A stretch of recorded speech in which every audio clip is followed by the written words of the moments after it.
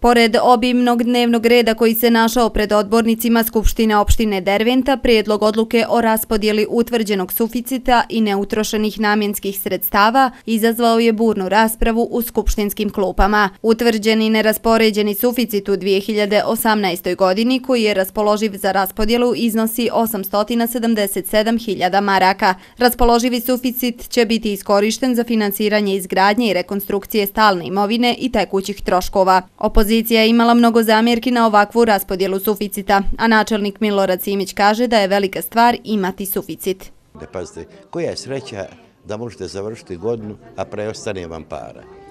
E onda će se ovako jedna digresija. Nevjerovatno je, fakat nevjerovatno, kako opozicija danas diskutuje. Naime, treba devalvirati to.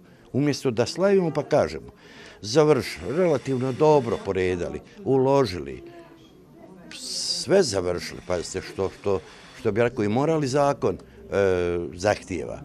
I, i, i raspoređujemo 877.000 i sat i pol vremena traje diskusija u smislu šta se to dešava u Sarajevu, jel te to Geltija krivi, možete zamisliti kako mi skrenemo pažnju od lijepe stvari. Dakle, ne dam, zaista ne dam.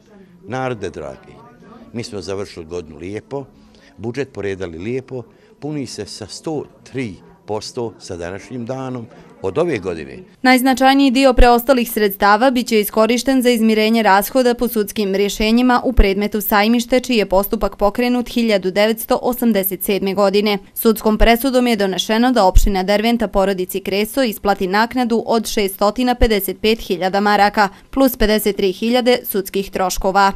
Sud je naredio u roku od 15 dana e, da se novac isplati pod prijetnjom blokade računa i svi sankcija koje mogu biti.